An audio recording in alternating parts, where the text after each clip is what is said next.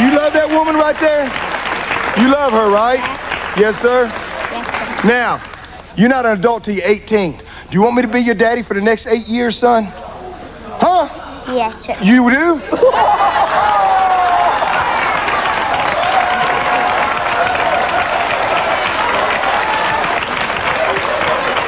Why you want me to be your daddy?